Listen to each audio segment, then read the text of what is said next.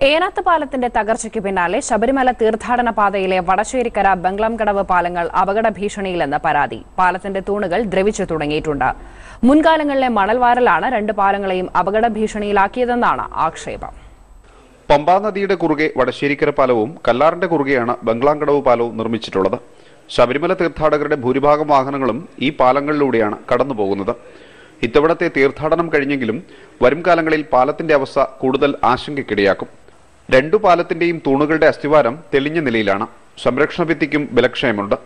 ശബരിഗിരി ജലവൈദ്യുത പദ്ധതിയുടെ നിർമ്മാണവുമായി ബന്ധപ്പെട്ടാണ് വടശ്ശേരിക്കര വലിയ പാലം നിർമ്മിച്ചത്. ഇരുപത്തിയഞ്ച് വർഷത്തിലധികം പഴക്കം. ഏനാത്ത പാലത്തിന്റെ തകർച്ച കണക്കിലെടുത്ത് ഇവയുടെ ക്ഷമത അടിയന്തരമായി പരിശോധിക്കണമെന്നാണ് നാട്ടുകാരുടെ ആവശ്യം. വളരെ ശ്രദ്ധയോടുകൂടി ഇത് പരിശോധിച്ച് ആവശ്യമായ സുരക്ഷാ ക്രമീകരണങ്ങൾ ഒരുക്കിയിരുന്നു എങ്കിൽ ഈ അപകടസ്ഥിതിയിലേക്ക് പാലങ്ങൾ ചെന്നെത്തുകയില്ലായിരുന്നു. രണ്ട് വർഷത്തോളമായി ഇവിടെ മണൽവാരൽ നടക്കുന്നില്ല. മണൽവാരൽ വർഷങ്ങൾക്ക് മുമ്പ് നടന്നതിന്റെ ഒരു പരിണിത ഫലമാണ് നദികളുടെ അടിത്തട്ട് താഴുകയും ഈ കിണറുകൾ ഉൾപ്പെടെ മുകളിലേക്ക് വരികയും ചെയ്ത ഒരു ദുസ്ഥിതി. അറ്റകുറ്റപ്പണികളും പരിശോധനയും വർഷത്തിൽ രണ്ട് തവണ നടത്തണമെന്നാണ് നിലവിലുള്ള ചട്ടം. പരാതി ഉണ്ടെങ്കിൽ മാത്രം പരിശോധന എന്ന സ്ഥിതിയാണ് നിലവിലുള്ളത്.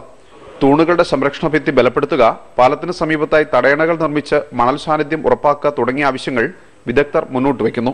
Mano Hermanos, Rami